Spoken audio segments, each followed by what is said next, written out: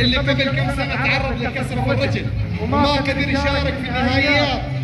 البطل محمد شاكر من الأردن. مركز الأول في بطولة رتبة كار بارك دريفت في الإمارات. وحقق 371 نقطة.